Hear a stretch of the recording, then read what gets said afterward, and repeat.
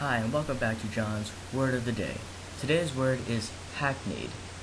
This word is pronounced exactly how it sounds hack and then need.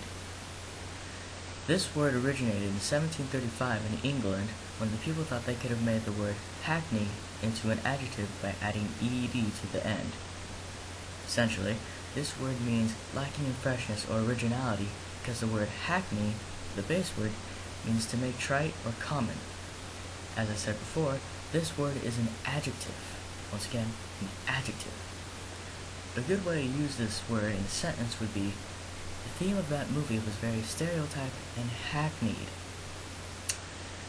Some synonyms of the word would be trite, cliched, worn out, tired, stale, or everyday. Some antonyms are imaginative and original. Well, it's been fun talking to you guys about the etymology of the word hackneyed, but unfortunately I have to be going. I hope you guys will visit me next time if you want to learn about any other word that you need to know about.